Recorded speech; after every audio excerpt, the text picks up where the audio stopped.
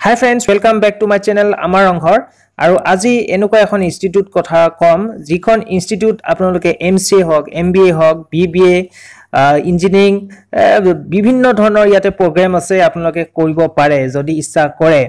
তে সেইকাৰণে আজি এই ভিডিঅ'টো মই আপোনালোকৰ কাৰণে আনিছোঁ।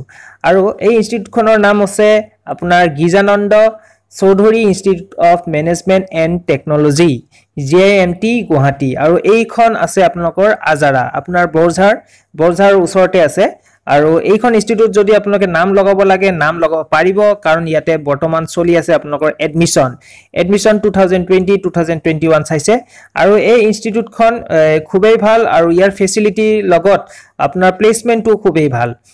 তে বলক আমি ইয়াৰ বিষয়ে অলপমান আপোনালোকক ক'ব বিচাৰিছোঁ। আৰু ইয়াতে চাওক গীজানন্দ ইনষ্টিটিউটৰ বিষয়ে অলপমান আপোনালোকক মই পঢ়াই শুনাই আছোঁ। The institute was founded on seven September two thousand six as the first non government engineering institute in a state of Assam under the aegis of the Srimanta Sankar academic society a registered service organisation set up in the year nineteen ninety two চাওক আৰু এই ইনষ্টিটিউটখনত যি যি আপোনালোকৰ programme আছে সেই প্ৰগ্ৰেমবিলাকো আপোনালোকক মই দেখাই আছোঁ। এতিয়া আমি যাম যিটো আপোনালোকৰ এডমিশ্যন চলি আছে তালৈ আমি যাম। আৰু তাৰ কাৰণে ইয়াৰ আগত আৰু এটা কাম কৰিব লাগিব। আপোনালোকৰ যিটো এডমিশ্যন আছে এডমিশ্যনত যদি আপোনালোকে ক্লিক কৰি লয় তেতিয়াহ'লে এটা পেজ ওলাব চাব আপোনালোকে। চাওক কণ্টেক্ট আছে ওলালে। আৰু ইয়াতে লিখা আছে চাওক contact numbers for admission related queries ধৰি লওক আপোনালোকে বি টেক বা এম টেকৰ ওপৰত কিবা যদি কথা সুধিব বিচাৰিছে আগতীয়াকৈ সুধি ল'ব পাৰে। তাৰপিছত ইফালে এম টেক আছে M B A B B A M C A B C A B S C honours যিকোনো ধৰণৰ যদি আপোনালোকৰ কিবা প্ৰশ্ন থাকে আপোনালোকে এইকেইটা কণ্টেক্ট নাম্বাৰ লৈ ল'ব আৰু ইয়াৰ পৰা এবাৰ কল কৰি ল'ব। তে আমি এতিয়া এডমিশ্যন পৰ্টেল লৈ যাম। চাওক এডমিশ্যন পৰ্টেল লৈ গ'লে আপোনালোকে চিধাই যদি আপোনালোকে হোম পেজ লৈ আহে হোম পেজতে আপোনালোকক মই দেখাই আছোঁ কেনেধৰণে আপোনালোকে যাব লাগিব মই সেইটো দেখাই আছোঁ। চাওক এডমিশ্যন টু থাউজেণ্ড টুৱেণ্টি আমি চিম্পল যদি ইয়াতে ক্লিক কৰি দিওঁ ডাইৰেক্ট এডমিশ্যন আপোনালোকৰ ওলাই আহিব। আৰু এই চাওক Girijananda Chowdhury institute of management and technology admission two thousand twenty two thousand twenty one হৈ আছে। আৰু ইয়াতে চাওক নিউ ৰেজিষ্ট্ৰেশ্যন আছে গ' ফৰ পে'মেণ্ট আছে আৰু লগ ইন আছে। যিসকলে ৰেজিষ্টাৰ কৰা নাই প্ৰথমতে আপোনালোকে ৰেজিষ্ট্ৰেশ্যনটো কৰি ল'ব লাগিব। ইয়াতে যিটো নিউ ৰেজিষ্ট্ৰেশ্যন আছে এই নিউ ৰেজিষ্ট্ৰেশ্যন গৈ কিনে আপোনালোকে কৰ্চ কৰিব এইবিলাকত আপোনালোকে দি ল'ব।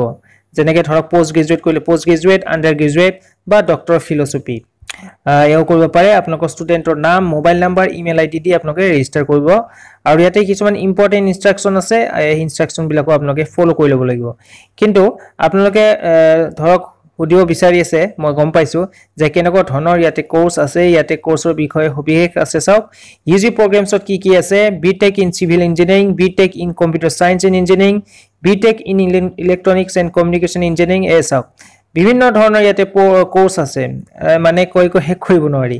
আৰু ইফালে পি জি প্ৰগ্ৰেমছো আছে M B A M C A M tech তাৰপিছত ইফালে পি এইচ ডি প্ৰগ্ৰেমছো আছে P H D in business administration P H D in computer science and engineering আৰু P H D in electronics and communication engineering আৰু আপোনালোকক আৰু এটা মই ইম্পৰ্টেণ্ট কথা কৈ আছোঁ ইয়াতে এখন প্ৰচপেক্টাছ পায় সেই প্ৰচপেক্টাছখন কাইণ্ডলি আপোনালোকে ডাউনলোড কৰি ল'ব। চাওক ইয়াতে প্ৰচপেক্টাছ লিখা আছে আমি যদি ইয়াতে ক্লিক কৰোঁ প্ৰচপেক্টাছ এখন ডাউনলোড হৈ যাব। আৰু এই প্ৰচপেক্টাছখনত ফুল ডিটেইলছ আছে ইয়াতে কেনেকুৱা ধৰণৰ ইয়াতে কৰ্চ আছে কেনেকুৱা ধৰণৰ ফেচিলিটি কেনেকুৱা ধৰণৰ প্লেচমেণ্ট গোটেইখিনি প্ৰচপেক্টাছত আপোনালোকে পাই যাব। ইয়াতে মই আপোনালোকক এবাৰ দেখাই আছোঁ। আপোনালোকৰ প্ৰচপেক্টাছ টু থাউজেণ্ড ওৱানৰ প্ৰচপেক্টাছ আৰু ইয়াতে গোটেই লিখা আছে engineering management computer application science ইয়াতে চাওক গোটেইখিনি ইয়াতে পাই যাব আপোনালোকে যিকোনো ইনফৰ্মেশ্যন লাগে। আপোনালোকক এবাৰ মই ইয়াতে দেখাই আছোঁ। কণ্টেণ্টছ হিচাপত আছে আপোনালোকে কণ্টেণ্টছ হিচাপত গৈ কিনে চাই ল'ব পাৰিব। ইয়াতে পেজ নাম্বাৰ আছে। ধৰক আপোনালোকে চিভিল ইঞ্জিনিয়াৰিঙৰ ওপৰত কিবা জানিব বিচাৰিছে ফিফটিন টু টুৱেণ্টি পেজ লিখা আছে সেই হিচাপত আপোনালোকে সেইটো পেজ লৈ যাব আৰু চাই ল'ব। যিকোনো ইনফৰ্মেশ্যন আপোনালোকে পাই যাব। আৰু এই ইনষ্টিটিউটত আপোনালোকৰ প্লেচমেণ্টবিলাকো খুবেই ভাল। আপোনালোকে ভালদৰে পঢ়িলে গম পাই যাব। স্কলাৰশ্বিপো ইয়াতে আছে। এই গোটেইখিনিয়ে বস্তু আপোনালোকে পাই যাব খালি প্ৰচপেক্টাছটো এবাৰ ভালদৰে পঢ়ি ল'ব। আৰু ফ্ৰেণ্ডছ আপোনালোকক আৰু এটা মই কথা কওঁ। ইয়াতে যিটো এডমিশ্যন আছে সেই এডমিশ্যনৰ কিছুমান প্ৰচিডিউৰ আছে। এইখিনিও আপোনালোকে ইনফৰ্মেশ্যন পাই যাব। ব'লকচোন আমি এইবাৰ এডমিশ্যন প্ৰচিডিউৰটোৰ বিষয়ে যাওঁ। চাওক এইখন হ'ল আপোনাৰ এডমিশ্যন প্ৰচিডিউৰ ইয়াৰ ইয়াতে লিখা আছে বি টেক প্ৰগ্ৰেমৰ কাৰণে লিখা আছে eligibility criteria admission in to first semester of any of the four year B tech degree course ইয়াতে লিখা আছে চাওক। Must pass high secondary examination of H S C আৰু কি কি লিখা আছে? Forty percent for S T and S C আৰু forty five percent marks in aggregate in physics chemistry ইয়াতে আপোনালোকৰ প্ৰচিডিউৰ গোটেইখিনি লিখা আছে যেনেকৈ ইয়াতে প্ৰথমতে হ'ল আপোনাৰ বি টেক আপোনাৰ চিট ইনটেক কিমান আছে? কিমান আছে? ধৰক computer science and engineering sixty seats তাৰপিছত চিভিল ইঞ্জিনিয়াৰিঙত আপোনাৰ ছিক্সটি ছিটছ এনেকৈ আছে। তাৰপিছত ইয়াতে চাওক এডমিশ্যনটো বেচিছ হ'ব আপোনালোকৰ কম্বাইন এণ্ট্ৰেঞ্চ এক্সামিনেশ্যন যিটো আপোনালোকৰ চি ই ই বুলি কয় সেইটো হ'ব আৰু বেছি দিন নাই হ'ব এইটো। ইয়াৰ ওপৰত মই এটা ভিডিঅ' দিছিলোঁ তাৰপিছত জি ইও আছে এনেকুৱা ধৰণৰ। তাৰপিছত এম টেক প্ৰগ্ৰেমছৰ বিষয়ে আছে ইয়াতে।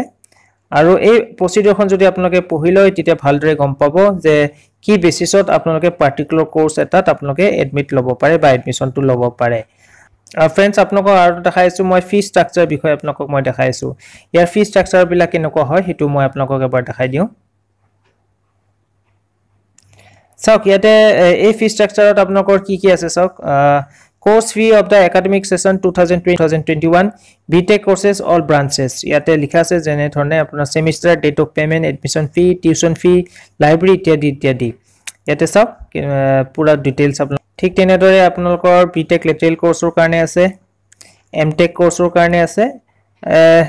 গোটেই কৰ্চখিনিৰ আপোনালোকে ইয়াতে ইনফৰ্মেশ্যন আপোনালোকে পাই যাব কেনেকুৱা ধৰণৰ ইয়াতে ফিজ ষ্ট্ৰাকচাৰটো বা ফিজ কেনেকৈ দিব লাগিব সেই গোটেইখিনি ইয়াতে আছে।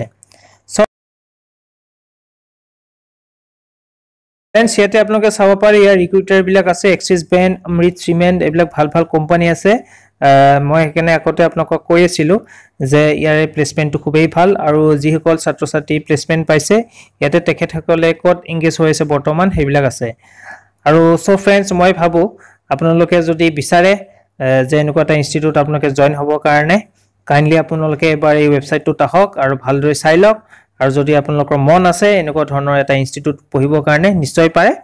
তে আজি মই এইখিনি কৈ কিনে মই ভিডিঅ'টো সামৰিব লৈছোঁ। তে till then thank you take care bye bye